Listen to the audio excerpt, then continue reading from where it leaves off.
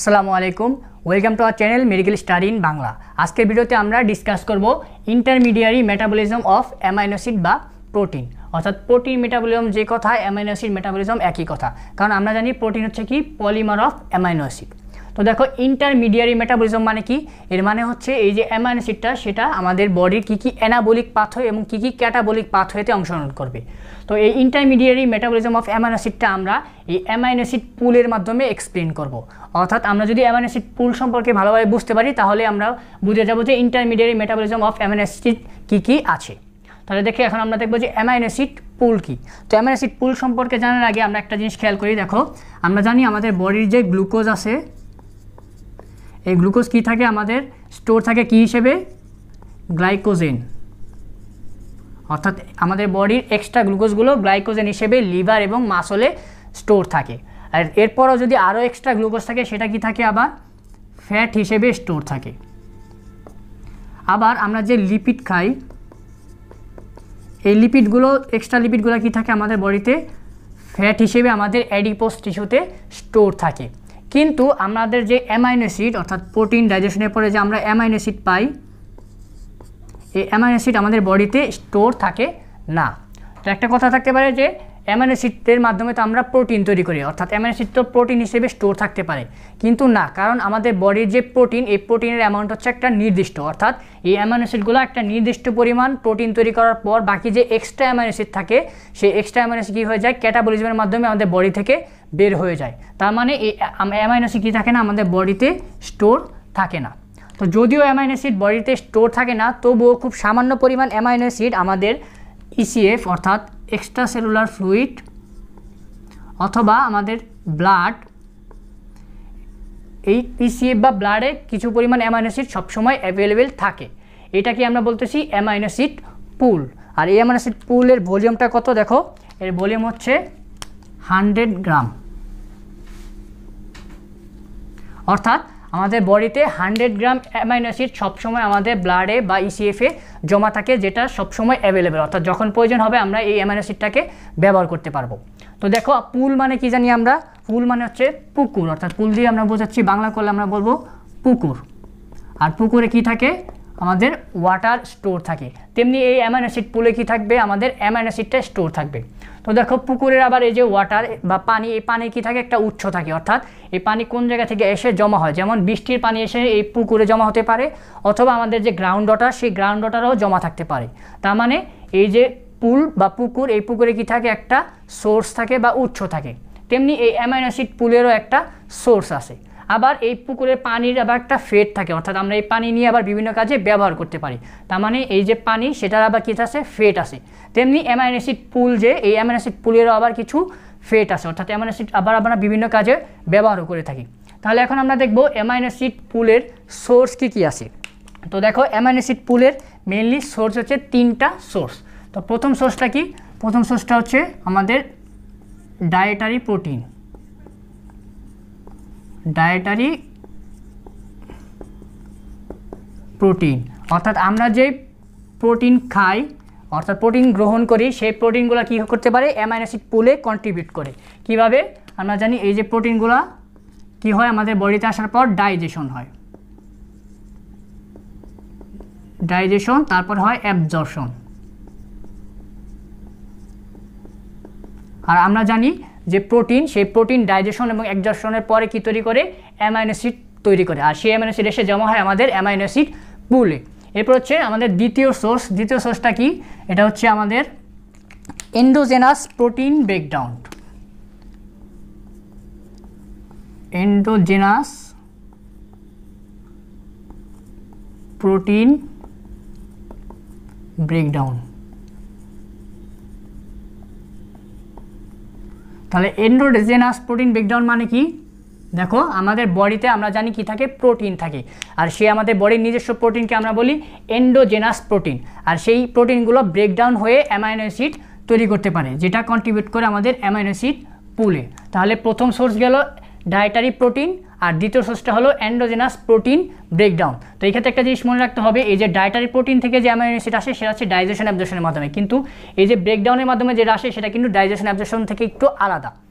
তারপরে দেখো তৃতীয় সোর্সটা কি? আমাদের তৃতীয় সোর্সটা হচ্ছে non synthesis of synthesis of non essential amino acid তাহলে দেখুন নন এসেন্সিয়াল অ্যামাইনো অ্যাসিড মানে কি? আমরা জানি আমরা অ্যামাইনো অ্যাসিডকে দুইটা ক্লাসিফিকেশনে ডিভাইড করতে পারি। একটা হচ্ছে এসেন্সিয়াল এসেন্সিয়াল অ্যামাইনো অ্যাসিড আর একটা হচ্ছে non essential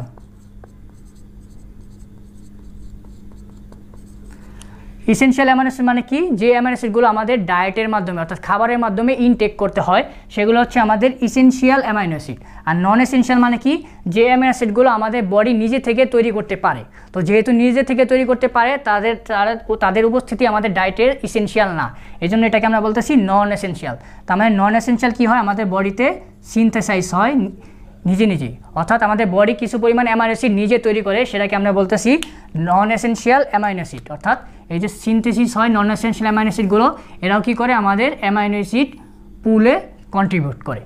তাহলে এই যে ছিল, এটা ছিল আমাদের তিনটা সোর্স এরপর হচ্ছে আবার তিনটা ফেট অর্থাৎ সেই অ্যামাইনো অ্যাসিড পুলে যে জমা হয় ওই অ্যামাইনো অ্যাসিডগুলো এটা আবার কী কী কাজে ব্যবহার হয়? তো দেখো, প্রথম যে ফেটটা হচ্ছে, সেটা হচ্ছে কি? Synthesis of structural protein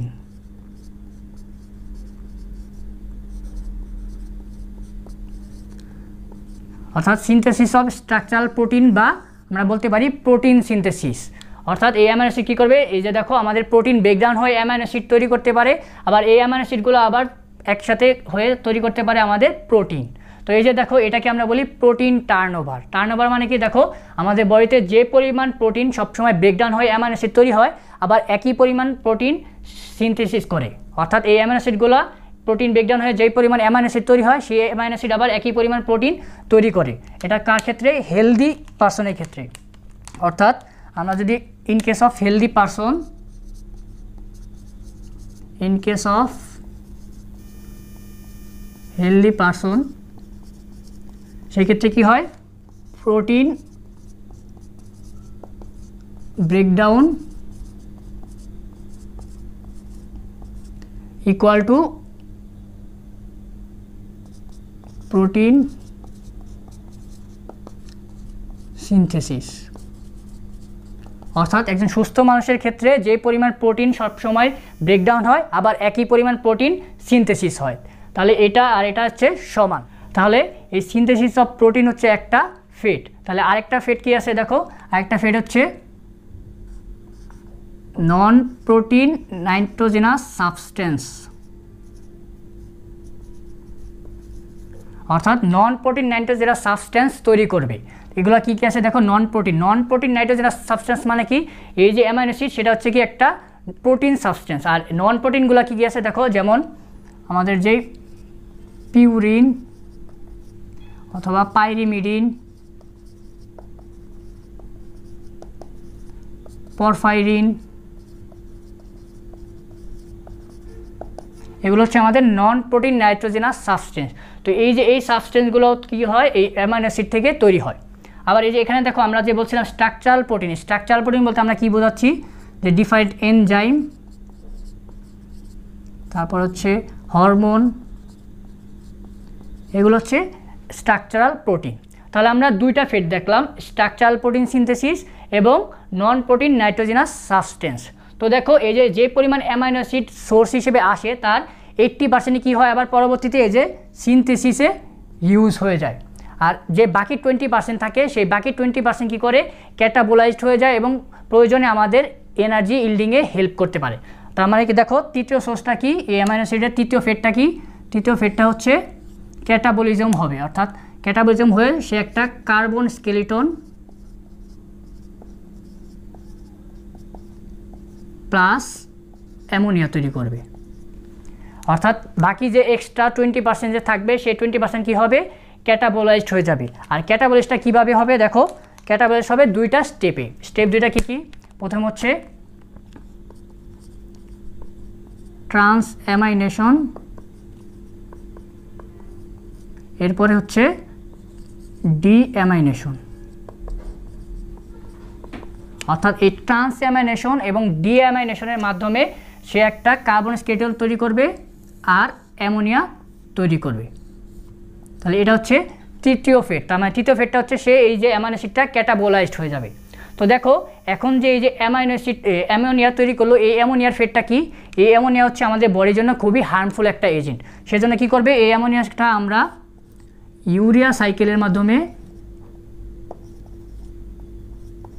body থেকে বের করে দেবো। অর্থাৎ ইউরিন ফর্মেশনের মাধ্যমে বডি থেকে এক্সক্রিট করে দেবো অ্যামোনিয়াটা।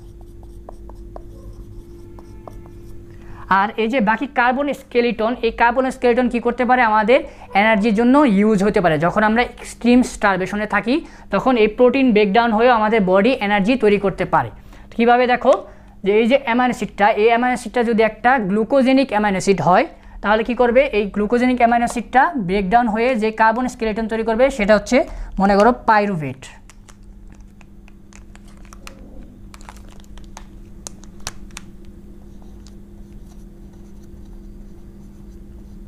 পাইরুভেট তো দেখো, একটা জিনিস ক্লিয়ার করে নেই যে কার্বন স্কেলেটন বলতে আমরা কি বোঝাচ্ছি? দেখো।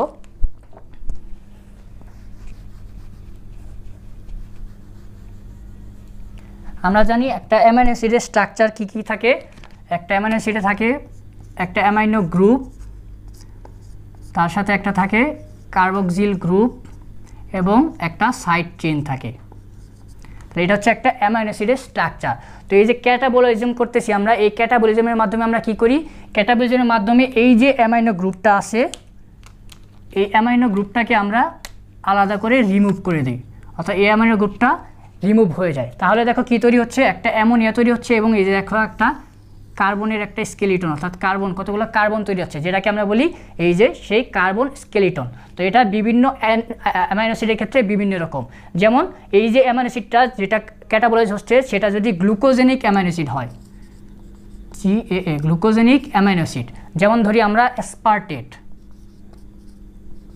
অ্যাসপার্টেট, এই অ্যাসপার্টেট হচ্ছে একটা গ্লুকোজেনিক অ্যামাইনোসিড তাহলে এই অ্যাসপার্টেট যখন ক্যাটাবলিজম হবে, সে তৈরি করবে পাইরুভেট।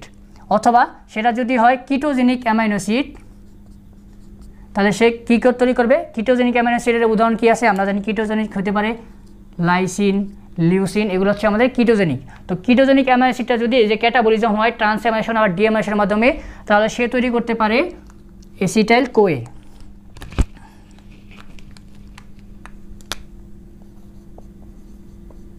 এসিটাইল কো এ তো দেখো এই যে পাইরোভেট তৈরি হইল, এই পাইরোভেট আবার পরবর্তীতে কী করতে পারে? আমরা জানি পাইরোভেট কি হয়?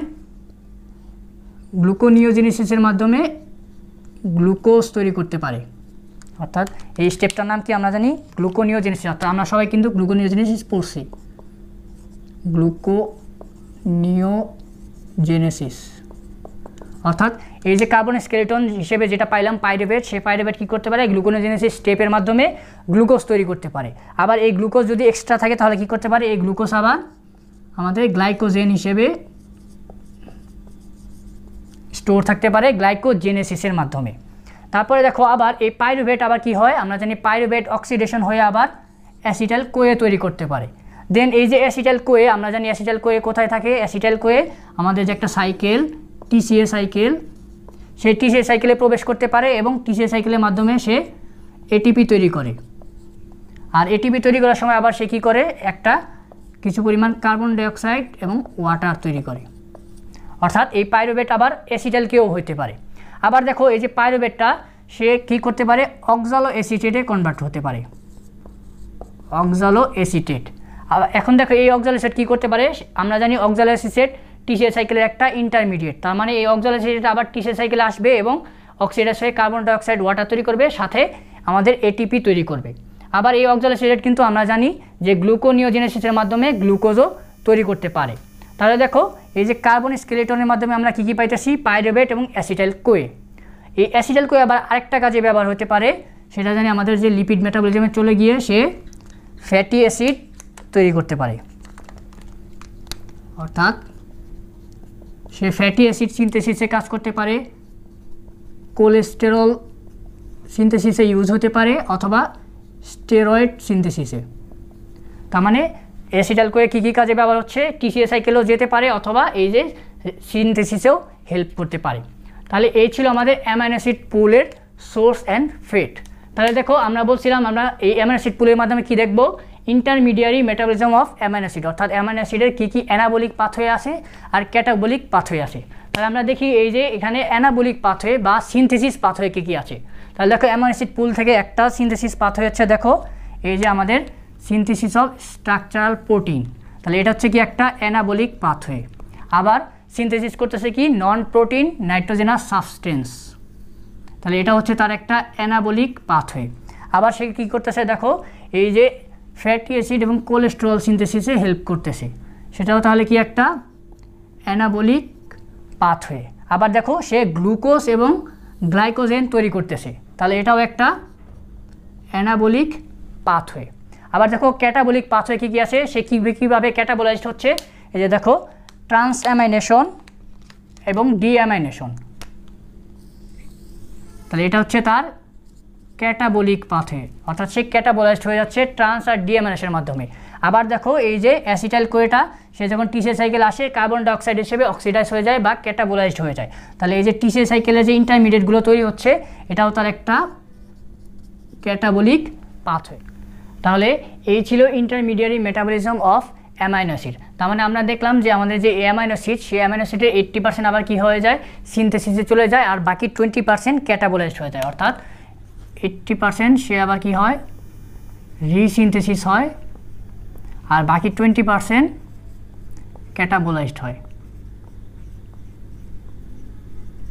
আর এই যে টোয়েন্টি পার্সেন্ট ক্যাটাবোলাইজড হয়ে যায় ট্রান্সঅ্যামিনেশন ডিঅ্যামিনেশনের মাধ্যমে, সেই টোয়েন্টি পার্সেন্ট আবার কী করতে হয়? আমাদের এই যে ডায়েটের মাধ্যমে ইনটেক করতে হয়। তাহলে এই যে ক্যাটাবোলাইজড হয়ে যে তৈরি করে অ্যামোনিয়া, সেই অ্যামোনিয়া আবার কী হয়? ইউরিয়া সাইকেল হিসেবে বের হয়ে যায়। তো আমরা এর পরবর্তী ভিডিওগুলোতে দেখব যে এই অ্যামিনোসিড কীভাবে ক্যাটাবলিজম হয়। অর্থাৎ পরবর্তী ভিডিওতে আমরা ট্রান্স ট্রান্সঅ্যামিনেশন ডিঅ্যামিনেশন আর এই ক্যাটাবলিজমের মাধ্যমে যে অ্যামোনিয়া তৈরি হলো, সেই অ্যামোনিয়া কীভাবে এক্সক্রিট হয়, অর্থাৎ ইউরিয়া সাইকেল এগুলো নিয়ে আলোচনা করব। তো ধন্যবাদ সবাইকে আমাদের ভিডিওটি দেখার জন্য। সালামু আলাইকুম।